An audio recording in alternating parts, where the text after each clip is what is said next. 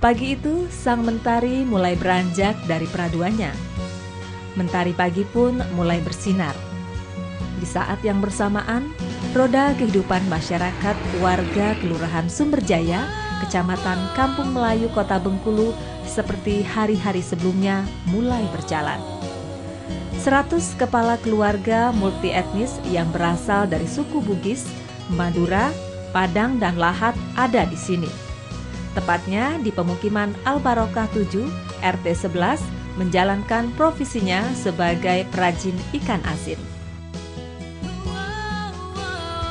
Sejak pukul 6 pagi, kesibukan mulai terlihat. Berbagai jenis ikan laut dari Pulau Enggano, Kabupaten Bengkulu Utara, hasil tangkapan nelayan tradisional mereka beli untuk selanjutnya diolah menjadi ikan asin. Nah, untuk membuat ikan asin ternyata tak semudah yang dibayangkan banyak orang. Dibutuhkan kesabaran dan keterampilan saat memotong, membersihkan ikan,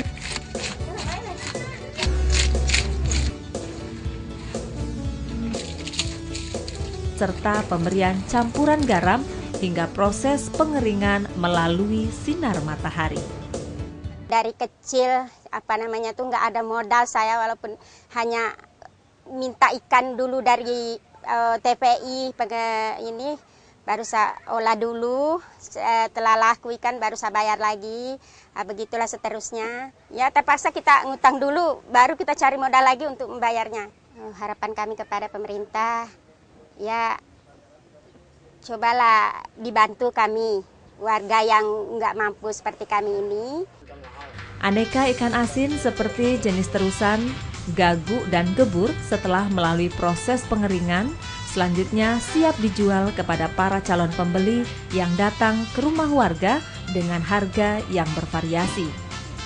Untuk jenis ikan asin terusan harganya Rp20.000 per kilogramnya.